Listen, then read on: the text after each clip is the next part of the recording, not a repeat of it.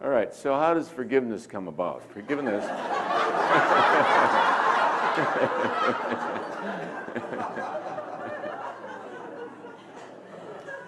is seeing error as limitation because this is a physiologic limitation due to brain function itself.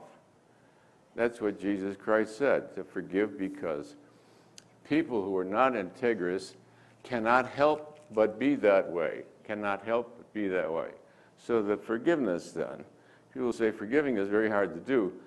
It's not hard once you understand this, that the person is limited by their own brain physiology. And what did Jesus Christ say about them?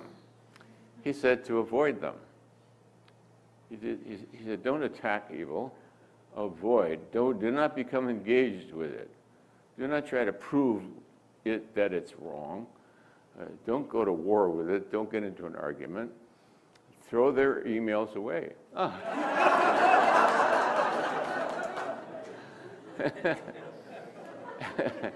so we don't answer anything that calibrates under 200. They bring in a message as he was a calibrated. If, if it's under 200, we just throw it in the wastebasket. what happens at consciousness level 200, which one arrives at through karmic uh, advantage and devotion, etc., through prayer and through forgiveness and through the mercy of God, is now the brain shifts uh, sides and there's the production of Kundalini energy. What shifts the brain chemistry from here to here is the emergence of Kundalini energy, and with Kundalini, Kundalini energy emerges the etheric body, the etheric brain, the etheric brain. So the processing that goes on here is instantaneous through the etheric brain before it even gets to the prefrontal cortex. And therefore, this person sees things differently. And one of the reasons they see things differently is because that's their intention. I see things differently now is uh, a stock phrase in 12 step groups, A Course of Miracles. Uh, anybody spiritually devoted will eventually begin to see things more benign and feel sorry for people rather than hate them, feel sorry for them. I don't hate the Komodo dragon but I don't step into his cage in my bare feet. So it doesn't mean to be stupid. Sometimes I think it's misinterpreted as being stupid, you know, and tell you, oh, Komodo dragons, they won't hurt you. That, that they're okay. they're okay. That's the last thing they said. The last thing he said. so being blind to danger uh, doesn't mean to be oblivious. Uh, you can love the animal and uh, not bother with them, uh, but I wouldn't get in the cage with them, yes.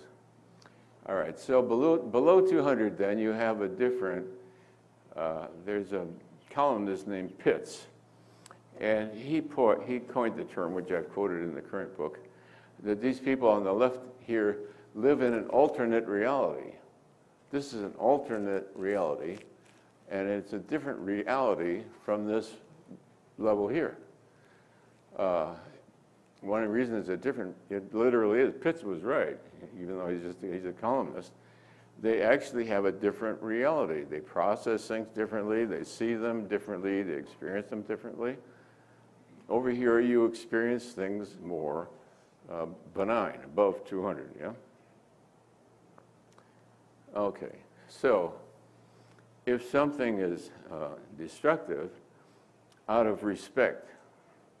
Out of respect for his reality, I don't provoke it. So that's respect. Yeah? I respect the Komodo dragon. So I don't make him wrong, I don't hate him, but I, I respect them. So unfortunately, sometimes uh, idealism reaches the point of being the fool, thinking that you can ignore the reality of what it is. Don't you see that's disrespectful? If you don't think certain people in this world are out to kill you, you're not being respectful of their belief system. And I believe the international problems we have is a failure to not only to understand uh, that different viewpoint, but to give it due respect. To give it due respect. If somebody's carrying a loaded 45, you don't stick your fingers in his eyes. That's disrespectful. Okay. So I believe in respecting one's energies. Your, your biggest safeguard is your respect for them. Because out of respect, then you feel obligated to understand them. And when you understand them, you're not so likely to stumble into offending. Okay, next one.